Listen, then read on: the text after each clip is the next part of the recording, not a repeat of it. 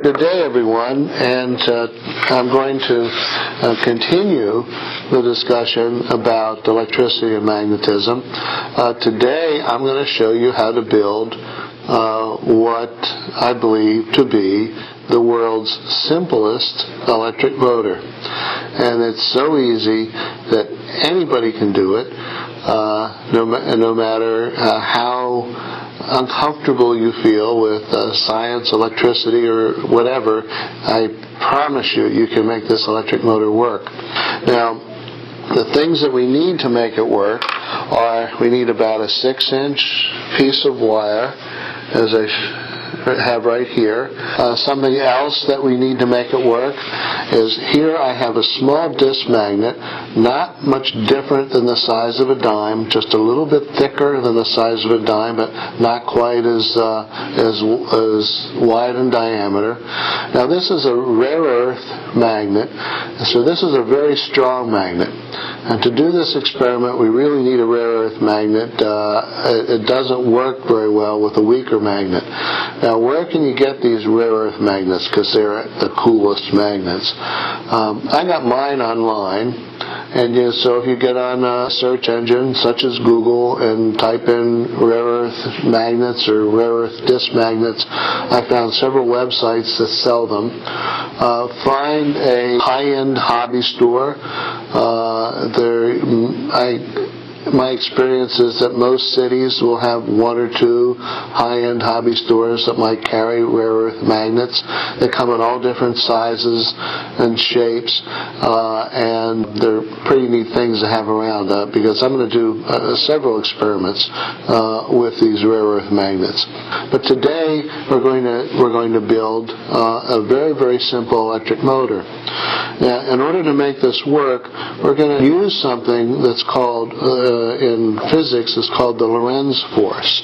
Now let me explain how that Lorentz force works, and then I'll show you the electric motor. The, the Lorentz force is uh, works like this. Now suppose that what I'm showing here, you see I'm using the spool of wire, and we'll take the top of the spool of wire to represent the surface of that disk magnet. The magnetic field of that disk magnet is going up and down. So it's coming right out of the magnet and going up and down uh, out of the disk magnet. So the magnetic field's pointing vertically as in the direction of this pencil. Now, if I can make a current that goes from the center of the magnet out to the edge, edge. So I want my current to go like this, my magnetic field to go, goes like that.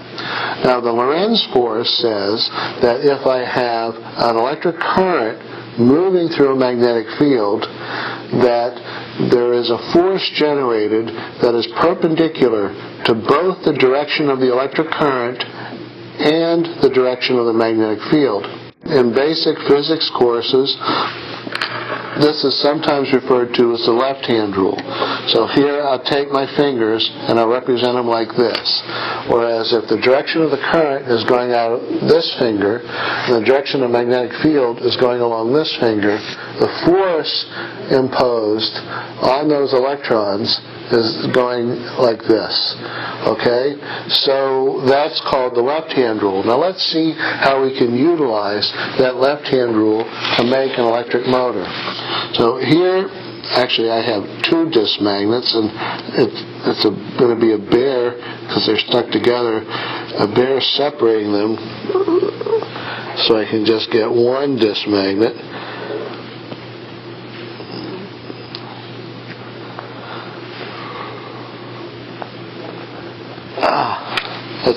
hard to do, as you'll discover. Take a screw or a nail. It has to be uh, one, again, made of uh, a magnetic material. Iron or chromium steel. Aluminum won't work, and many types of stainless steel won't work. Copper won't work. Uh, so it has to be a magnetic material because it needs to stick to the magnet like that. Okay, now I have a, uh, a double A battery, okay, just a small double A battery, but I could also use another size battery will also work, but it's, the experiment is probably a little bit more impressive if you do use everything small rather than something big. Uh, and then because now this screw is a magnetic material, the magnetic field is concentrated in the screw, and I can hang the tip of that screw right off of the end of the battery like that.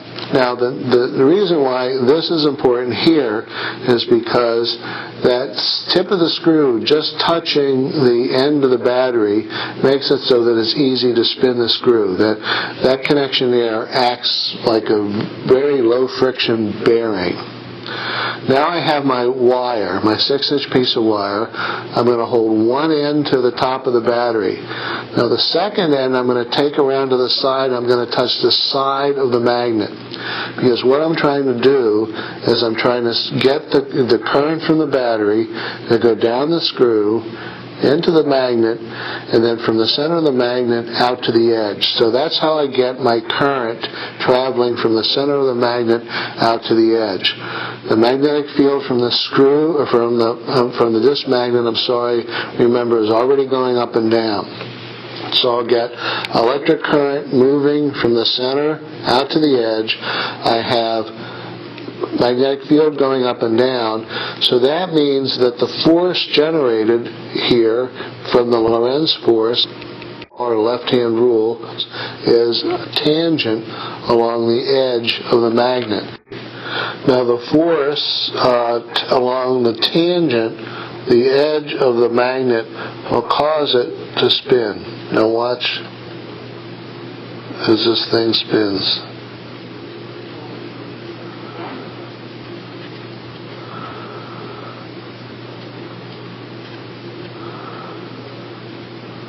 It spins too fast, you can't see it. Of course, if it spins too slow, now, like I said, you can also use a big battery if you want. The size of the battery, the only thing the difference the size of the battery makes is that you, you have it'll last longer with a big battery.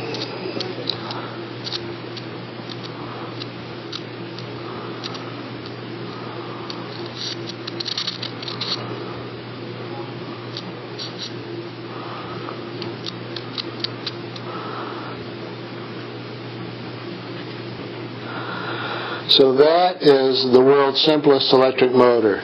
Now, if you get that really going, if you if you uh, just hold that there for a few seconds and get it really spinning, that thing can spin really fast. It'll go 10, maybe 20,000 revolutions per minute. It really goes fast, and I think you're going to enjoy that.